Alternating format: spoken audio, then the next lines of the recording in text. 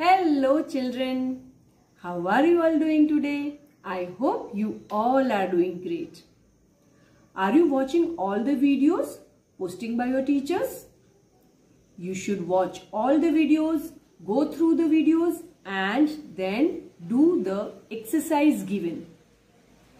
Okay, now today we are going to do mathematics. And I am going to show few objects to you.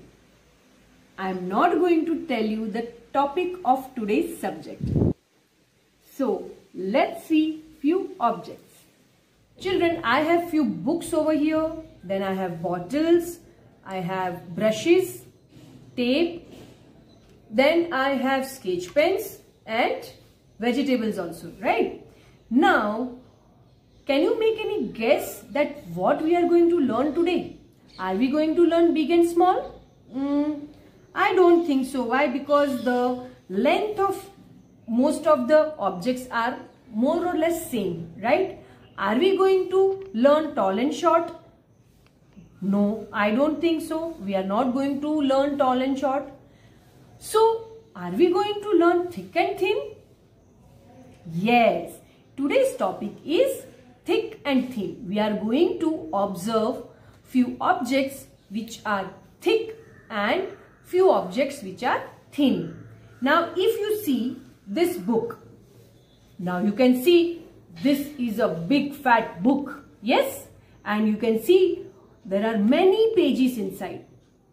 Yes, and I have this book. This is your Little Thinker Mathematics book.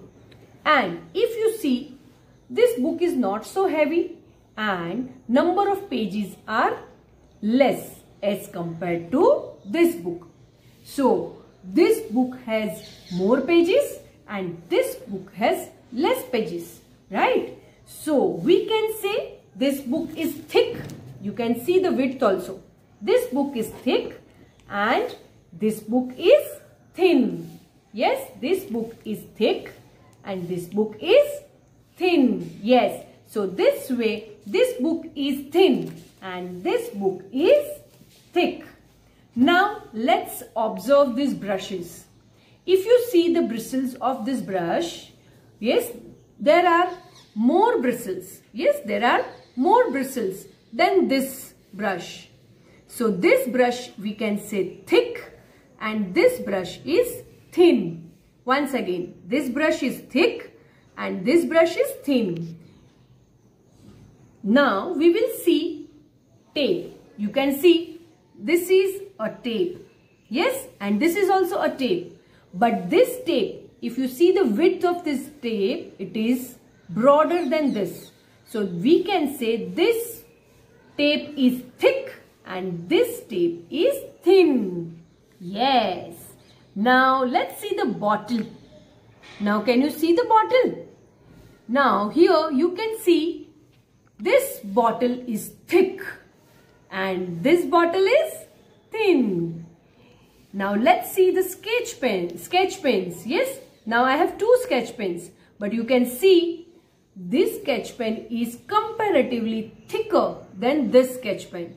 Yes, so this sketch pen is thick and this sketch pen is thin. Now I will show you the tip of this sketch pen.